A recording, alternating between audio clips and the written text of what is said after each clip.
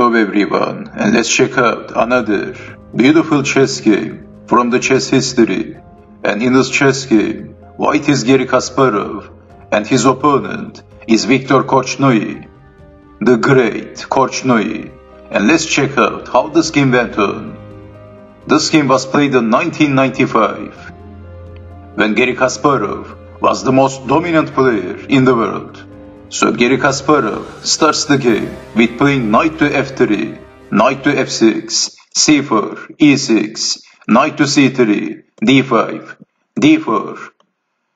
And the game transformed into the queen's gambit declined, semi-Slav defense, bishop to g5, h6, bishop to h4, d takes on c4, e4, by Garry Kasparov, bishop to b4, pinning the knight and Kasparov captured the pawn. Bishop takes on c3, capturing back.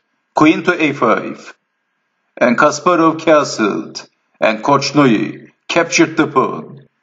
And right now black is a pawn up. Knight to e5, knight to d7, queen to g4 by Kasparov. An annoying looking move, attacking the g pawn and the knight.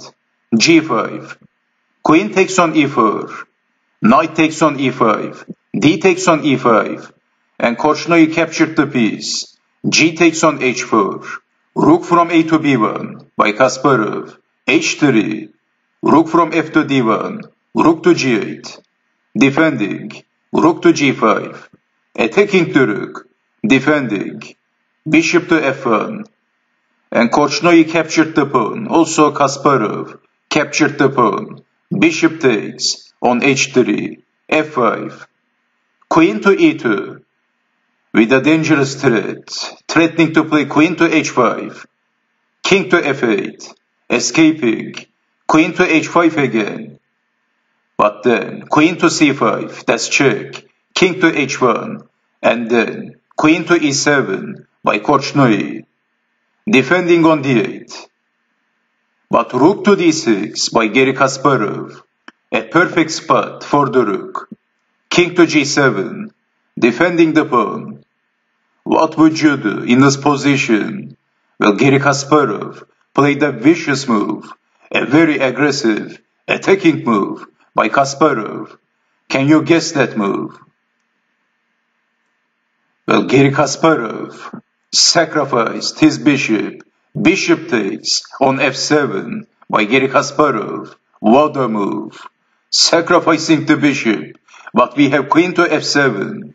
If capturing the bishop, then rook to g6, king to f8, queen takes on h6, king to e8, rook takes on g8. And this is just one possibility, and black is losing in every variations.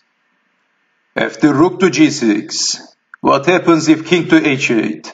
Then rook takes pawn, check, king to g7, rook to g6, king to f8, rook to f6, and if not capturing the rook with the queen, let's say king to g7, and then queen to h6, check, mate. There is no defense. So this is why, in this position, Garry Kasparov captured the pawn. Bishop takes on f5 by Kasparov. What a move. Queen to f7. Exchanging the queens, Kasparov played a move and Korchnoi resigned. That was a knockout blow by Kasparov, a knockout punch. What would you do? Once again, the bishop is under attack. Kasparov simply captured the pawn. Bishop takes on e6, and Viktor Korchnoi resigned. He is losing very badly. That's why he resigned. That's the reason. Let me show you the possible continuation. Capturing the bishop. And then rook takes on b7, check. Moving the king. And getting back the material with check. King to f5. And then rook takes on c6. It is getting from bad to worst for black. As you can see, collecting the pawns one by one and look at the pawn structure of white. It looks like a ladder. It is a beautiful chess game by Garry Kasparov. He crushed his opponent. And right now, white has three extra pawns. This is definitely losing for black. An easy endgame for white. This is why, after bishop takes on e6 by Garry Kasparov, Viktor Korchnoi resigned. And thank you for watching, and I hope to see you next time. Take care and bye bye.